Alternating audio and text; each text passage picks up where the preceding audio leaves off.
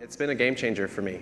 You know, I, I can race cars like I used to again, which basically means I can continue to do what I love to do professionally, which is compete, and not only that, but at the highest level. I also love that because of the software architecture, the system is transferable. I've been racing in a Hyundai Elantra N TCR car, but in the future, I can take this with me to any number of race cars. Yeah, the, the future is exciting. Um, to start, in 2025, I'll be making my debut in the IMSA WeatherTech Sports Car Suit Championship, racing a Corvette Z06 GT3R, which is a big step up for me in power and in competition. So I'm, I'm really looking forward to that. Uh, my name is Grant Browning, and I'm the Motorsports Design Office Manager.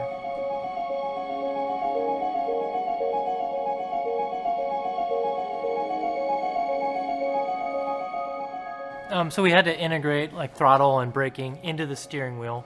We were able to produce a, a pretty nice, tight little package that kind of seamlessly is integrated into the existing uh, race cars and can be installed and uninstalled relatively relatively quickly and, and doesn't interfere with the able-bodied drivers and gives the paraplegic drivers seamless integration into the car. We are very CAE heavy, so we, we have a, a lot of the packaging and uh, load cases and requirements captured uh, virtually. We also do the design, manufacturing, assembly, and testing at on-track testing in-house. Um, so from that perspective, um, we have very quick feedback loops as we design and start manufacturing to assembly to test at any uh, at any point in those steps there are issues or suggestions there's kind of a quick path for a feedback loop and adjustments to design on the fly I think that is one one major advantage that we have from that perspective. The other is there are a lot of people here in each of those fields that um, have a lot of experience and knowledge and are um, pretty dialed in intuitively to what will work, um, what won't work, how people are going to try to use our designs, and they're articulate enough to give the designers and engineers feedback as to why their intuition is telling them it won't work. Um, and that helps us kind of produce our, our targets and load cases such that, um, that we can meet the requirements we need to in a reasonable amount of time.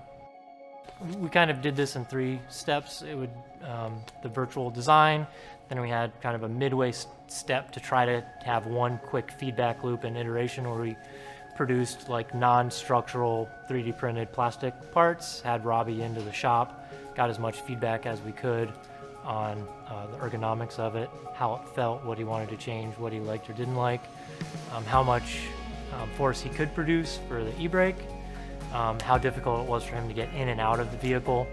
Um, and from that, we were able to kind of do that quick iterative um, adjustment to design. And at that stage, we had to go uh, straight to functional part manufacturing.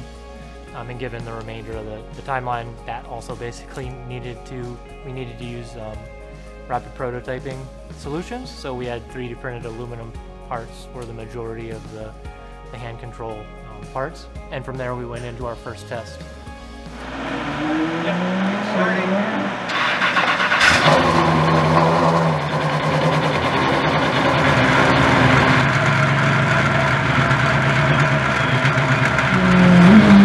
Yeah, I thought the first test using the new hand control system went about as smooth as I would have imagined not just from a system's functionality point of view, but in a usability point of view as well. The system has been designed for Robert, of course, but I found using the system very intuitive and very easy to switch back and forth between the hand control system and the normal systems of the Corvette. This is something that's very important for sports car racing, of course. It has to be easy and fast to switch systems back and forth once he gets in the car, to switch over the controls that he needs, and when the other driver is driving the car, then he has the controls that he's used to. The goal of the test was to prove all of the parts of the system worked as intended and worked safely with all of the backup mechanisms working properly. That part went so well that on the second day of the test, I had the time to get comfortable pushing the Corvette to the limits using the hand control system, and in the end was running lap times between the two systems that were only about a second apart within a relatively short amount of time. I'm excited to see how Robert finds his first experience in the Corvette and watch him get comfortable and get fast in this car.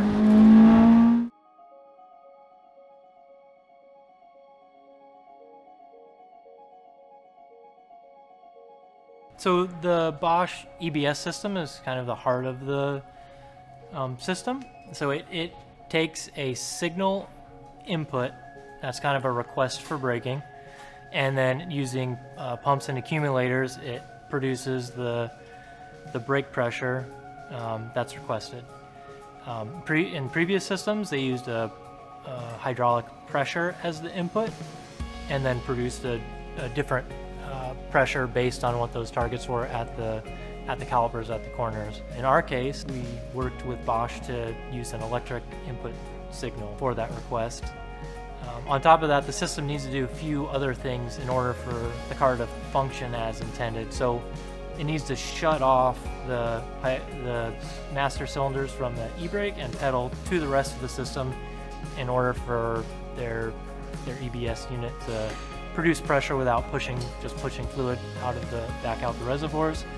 It also needs to monitor pressure at the pedal and pressure at the e-brake while it's uh, monitoring input braking signal at the hand controls because it, it needs to understand if there is an error in the system and someone's applying pressure somewhere else, why they're doing that and which signal it needs to listen to. Um, the system also, um, if there's some sort of failure or emergency, and the EBS system fails, it, it, needs to reopen up the hydraulic system under all circumstances of failure so that the e-brake can be used in an emergency or the brake pedal can be used in an emergency. If everything goes well, um, the system should be seamless within the car so that um, Robbie can basically push the car and himself to the limit um, without any restrictions. Um, and if that happens, you'll you'll probably be hearing mostly about his success, right? Not not the the systems behind it, um, and that's understandable.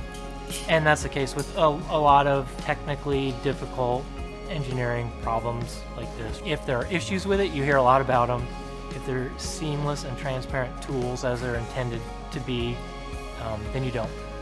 And I think watching Robbie and the car perform on TV with our system will, and seeing um, its success will mean a lot to, to me and the rest of the guys. I think it'll be really cool to see.